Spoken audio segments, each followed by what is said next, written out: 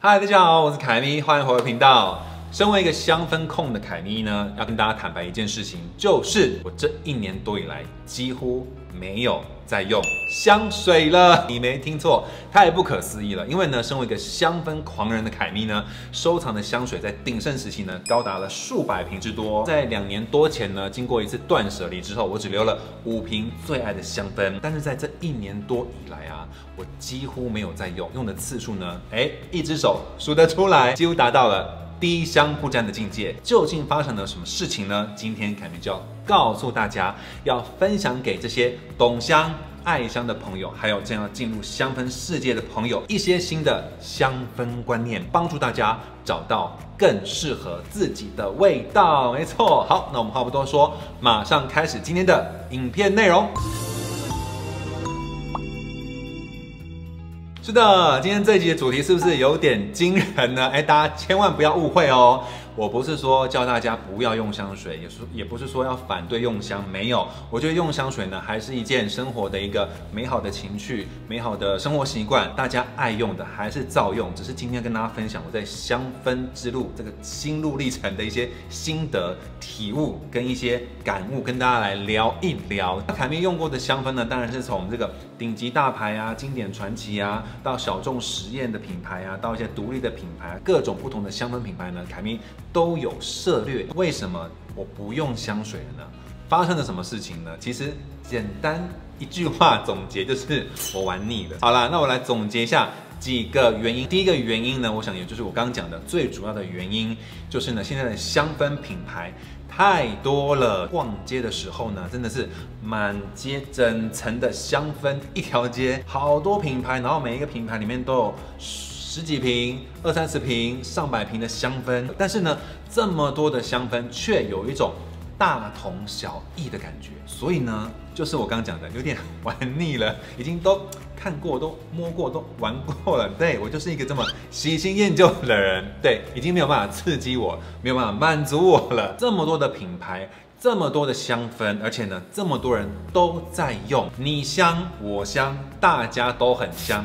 所以呢，香不香这件事情已经不稀奇了。我现在追求一个不香、香氛过剩的世代呢，没有味道的味道才是最好的味道。这就是呢，凯咪一种心情吧。就是哎，既然你很香了，它也很香了，哎，那我来一个没有味道，是不是更酷呢？因为我觉得用香就是要追求一个独特。所以既然这么香，这么多人都很香，那不香不是最特别吗？哎，香氛品牌千万不要紧张。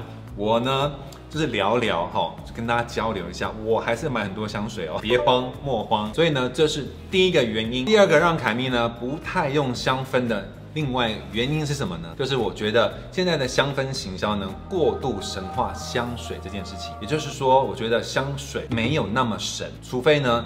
你是很有灵魂的人，什么意思呢？因为我觉得卖香氛这件事情很需要动用说故事的技巧跟能力，因为香味、味道这件事情它没有形状、没有颜色，喷到空气当中你也摸不着，你只能闻到。但是呢，嗅觉却可以刺激我们的大脑，产生一些你知道化学反应，进而呢，从你过去的记忆啦，还有一些潜意识当中提取一些画面跟连接，产生的一些。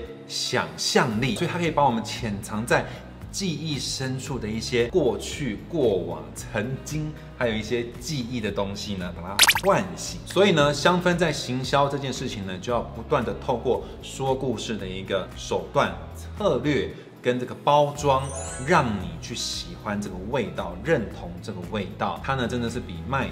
口红啊，比卖衣服还要难，因为口红看得到颜色，衣服看得到剪裁，穿上去好不好看，画上去好不好看，一翻两瞪眼。但是呢，香氛就是一种感觉，你一定听过呢。很多香氛都在诉求啊，你用了它之后呢，你会变得更有魅力，会变得更有气质，变得更有那个桃花，更有质感，巴拉巴拉一堆，就是呢，透过用香氛这件事情，让你质感升级。但是我必须要说一件事情。一个有气质的人呢，就算他不用香氛，他还是有气质的。所以，如果你真的想要透过一瓶香水让你变得有气质，功效呢是非常非常非常非常弱的。与其想要透过香水让自己变得有质感，不如好好进修自己，培养自己啦。我觉得这才是最根本的。然后呢，香氛再来神来一笔，就是呢相辅相成，真正的魅力还是要靠自己培养的，是不是？香氛真的就是那么临门一脚。那么神来一笔，在用香氛之前呢，不如先去买几本好书，让自己变得更有气质，是不是呢？有人说“腹有诗书气自华”，就是这个道理。接下来第三个让凯蜜不太用香氛的原因，我相信大家都有共同的经验，就是呢，在一个密闭的空间当中，如果突然走进了一个满身香水味的呃朋友，这时候你一定会觉得哇，那个香味已经不是香味，那是一种侵略感，有一点被。冒犯的感觉有没有这种感觉？真的是有点微妙。我们每个人呢都有装扮自己的权利，但是我们也要有尊重他人的美德。用香氛原本是一个美好的目的，但是如果它影响到别人了，有时候我们看到人家的穿搭不好或妆化的不好，我们就眼睛闭起来嘛，或者是撇头不看，就看不到了，对不对？但是呢，味道这件事情，你不可能说我闭气憋气嘛，你能憋多久？对，所以呢，它就是一个嗅觉是比较难以关闭的东西。所以呢，我们在用香的用量、用法、用香的场合，应该要有所克制跟节制，不是越香越好。这一年多来，我常常遇到这样的情况之下呢，我才恍然，才惊觉说，哇，原来过去的我。就是一个香氛过头而不自觉的人呢，我才反省说，哇，原来我自己是不是常常啊以这个香气为乐，可是没有顾虑到身边的人的感受。我以前还知道多夸张，就是追求一种就是呢，哎，人没到，味道先来。对我真的是沾沾自喜，大家都觉得说，哇，这个味道一闻到就知道凯咪要来了。对，然后呢，凯咪走了之后，味道还留在那里。总之，我觉得用香这件事情真的要。控制了，要控制。凯咪还是很期待用香水的，该用香水的时候，我相信我还是会用，但是我希望用一个更特别的，所以我就灵机一动，是不是应该来出一个？没有味道的香水，这样有人会买吗？应该不会，对不对？所以呢，我就先不喷啦。这时候呢，我就觉得自己还比较特别，就是你洗完澡，其实我用的沐浴乳啊，我用的洗发精啊，都有一定味道。然后自从我不用那个香水之后呢，那个味道反而就散发出来，而且我觉得是够的耶，留在身上那个轻轻，然后柔柔淡淡的味道。就是我喜欢的，所以我真的觉得好像不太需要再加更多上去。各大品牌莫慌，我还在等你们出一些真的打动我的心的味道。然后呢，这段期间呢，凯咪其实还是有时不时就是会逛一下，还是会看一下，还是会买一些回来品味。然后呢，品味一次之后呢，就会送给同事，就是送给我的公司的人，他们真的。很幸福。先跟大家分享最近买了哪些特别的味道好了啦，比较特别的一定要介绍。这个呢就是噔噔 f o n a s a t i 他们家原本只有出那个室内的芳香蜡烛啊、扩香啊，然后跟家具家饰，对不对？然后他们居然出了就是香水，哇！我真的很爱他们家的室内啊扩香，对。然后那个香氛的味道呢，真的很不错，这个味道很温馨、很温暖、很有质感，但是。凯咪就用一次。如果你有想要用香水的话呢，我觉得可以去逛逛看啊。还有像这个阿木奇的这个有没有？最近还买了 Tom Ford 这个香草的这个，对，也都是近期还蛮有话题的。然后呢，最近这个很红的这个 Magella 的这个买来体验一下，就是感受一下有没有是我想要的那种感觉。这些香氛都很棒，都很美。但是呢，我就是。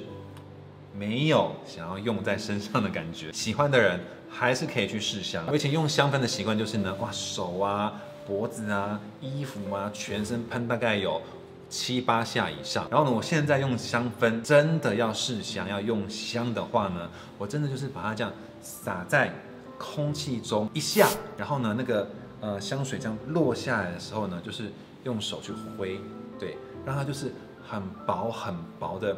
落在我身上。对，这是我现在用香氛的一个新的方式。刚刚讲的，不去打扰他人的美德，自己很美没问题，但是呢，我们也不要打扰别人。是的，今天这个影片呢，凯咪其实挣扎很久，想说要不要做，但是我觉得，我觉得既然很有感觉，还是要跟大家来分享。因为呢，这个影片真的不是说大家不要用香水，而是如何正确，然后更美好的使用香氛这件事情，让大家呢可以提升香氛的品质。也可以寻找到更适合你的味道。总结一句，什么是最棒的香味呢？我觉得呢，一个人的干净清爽的仪表就是最吸引人的前调，而他谈吐言谈间散发的魅力就是最吸引人的中调，而他脑袋里装着的人生智慧还有阅历，则是他最深藏不露的底蕴后味。这个前中后调就是我们的人生。你就是世界上最棒的香水。是的，希望大家会喜欢今天的影片内容哦。不要忘记了，一定要把这影片分享给你身边也在寻找香氛的朋友、喜爱香氛的朋友。当然，最重要、最重要的就是要关注凯咪的频道。我们更精彩的影片，下次见，拜拜。